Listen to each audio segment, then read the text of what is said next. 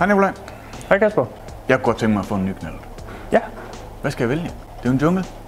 Ja, altså øh, man kan sige, du skal jo gøre op med dig selv, hvad du skal bruge knallerten til, i forhold til, øh, skal det være en to-takter, skal det være en fire-takter? Lad mig lige stoppe dig. Nu har jeg kigget meget nye maskiner. Jeg synes ikke, jeg kan finde andet end fire takter. Hvordan kan det være? Det handler rigtig meget om, at to-takter de er ved at blive udfaset på grund af deres emissionskrav, som de ikke kan leve op til, de nye Euro 4-regler, som handler om CO2-udslip. Og det har fire-takter nemmere ved at leve op til, og derfor er man begyndt at fokusere mere på dem frem for to-takter. Okay. Jeg, jeg skal jo være ærlig og sige, at jeg vil egentlig allerhelst have en to-takter, men jeg har bare ikke kunne finde nogen nye. Så hvad gør jeg, hvis jeg skal have en brugt? Så skal du øh, lige være opmærksom på nogle ting i hvert fald, fordi det er meget nemt at købe katten i sækken, når man går på brugtmarkedet. Ja, men jeg synes, de er dyre. Ja, det er du fuldstændig ret i, Kasper. Det, der er sket i og med, at to-takter ligesom bliver udfaset nu, og populariteten er egentlig den samme, hvis ikke højere end nogensinde, så er brugtpriserne bare steget stødt øh, lige siden, ja, hvad skal man sige, årsskiftet, hvis ikke før. Så det er du fuldstændig ret i. Priserne de peger opad. Ja. Hvad nu, hvis jeg gerne vil, lad, os bare tage et tænkt eksempel. Jeg vil gerne ud og have en hoteladresse. Ja, dem er jeg trods alt nogen, der på af, ja. Hvad skal jeg være opmærksom på, når jeg køber en brugt? Du skal være opmærksom på stilnummeret, altså om er den, er den meldt stjålet, og hvornår er den indregistreret. Er den indregistreret efter den 1. juli 2006, skal den have nummerplade på. Så hvis du kan se allerede på annoncen, at den ikke har nummerplade på, så burde den første, hvad skal man sige, alarmklokke begynde at ringe lidt. Man skal i hvert fald lige spørge ind til det. Ja, og sælger skal have et godt svar. Nikolaj, hvad skal jeg være opmærksom på, øh, sådan, når jeg kigger på en brugt scooter? Når du er ude og kigge på en scooter, så skal du selvfølgelig tjekke, at stilnummeret stemmer overens med en eventuel registreringsattest, eller i hvert fald hvad sælger har oplyst. Og det er jo vigtigt, at stilnummeret ikke bliver præg af blevet ændret. Hvis du slår stilnummeret op på nettet, og det ikke giver udslag, så er det ikke ens betydning med, at der er noget galt, at maskinen er blevet stjålet eller noget som helst.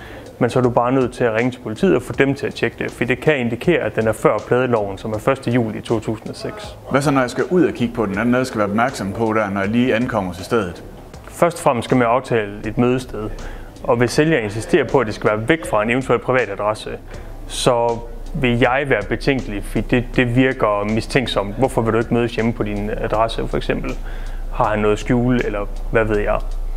Når du så ankommer og øh, skal til at kigge på maskinen, så er det en god idé lige at tage hånden hen til udstillingen og mærke, at den varm. Det kan godt indikere, at sælger har haft den startet, inden du er kommet for at være sikker på, at den kan starte på første hug på kickstarteren, og at den kører jævnt og optimalt og står perfekt i tomgangen. Så en kold motor er altid bedst i forhold til at skal teste maskinen, kan man sige. Hvis motoren er varm, så er det jo ikke ens tid med, at sælger prøver at snyde dig. Det kan jo være, at han har kørt på den hen til det sted, hvor I skal mødes. Igen, så er vi tilbage til, hvorfor I ikke mødes på privatadressen. Men jeg synes godt, man kan bruge det som en lille alarmklokke, og så i hvert fald sørge for at få forhandlet prisen, sådan at der er lidt rådrum i budgettet til eventuelle reparationer. Altså, hvis det er en gammel maskine, for eksempel, nu siger du, Kasper, du gerne vil kigge på en øh, PGO Hot 50, jamen de fås jo helt tilbage fra 90'erne og op til 2017. Øhm, så der er hvad skal man sige, en bred vifte af stand, den kan være i. Rust er ikke nødvendigvis skidt, men det skal i hvert fald være en mængde, du kan leve med øh, og forhandle ud fra det.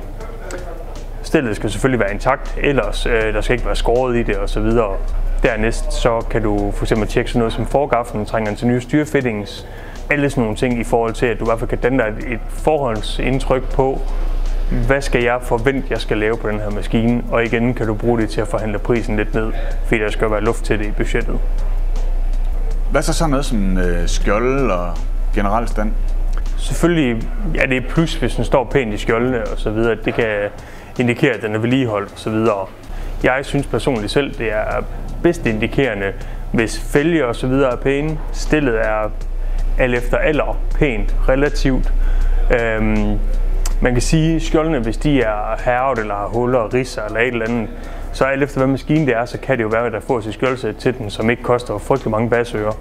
Og der kan man jo gøre sig selv den tjeneste at gå ind på speedline.dk og lige tjekke, inden man køber eller tager kontakt til sælger, hvad kan jeg faktisk få af reservedel til den her maskine. Er det en dødsejler fra starten af?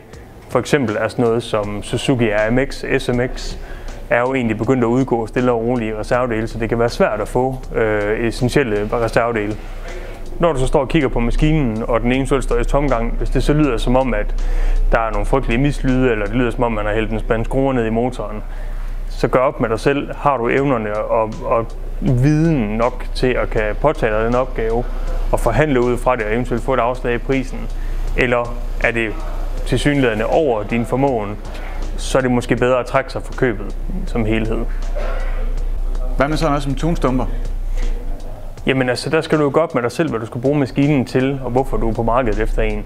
Er det til hverdagskørsel, og du gerne vil have en lovlig maskine, så skal du i hvert fald være sikker på, hvis der er tunedele på maskinen, at du kan få standard reservedele, så du kan få den ned og køre det, den må. Der kan du eventuelt tjekke vores øh, checkliste til øh, justering, indstilling af scooter øh, inde på hjemmesiden til hjælp til, hvad ting du skal ændre i forhold til hvad. Hvad med øh, ledningsnet? Det kan jo være svært at se ledningsnettet, men du kan jo tjekke om langt lys, kort lys virker, blinklys virker, hornet, elstart, baglys, alt det her. Tjek alle elektroniske virker. Så kan du i hvert fald have en god indikation om, at ledningsnettet fungerer, som det skal. Det kan være svært at helt gardere sig imod øh, eventuelt fiksfakserier i ledningsnettet, men altså virker alt el, så burde du være godt kørende. Tak fordi I så med. Jeg håber, I kunne bruge det til noget og er lidt bedre rustet til at gå på brugtmarkedet og købe en maskine. Husk at like og subscribe, og hvis I har nogle spørgsmål, skriv i kommentarfeltet, så skal vi gøre, hvad vi kan for at besvare dem.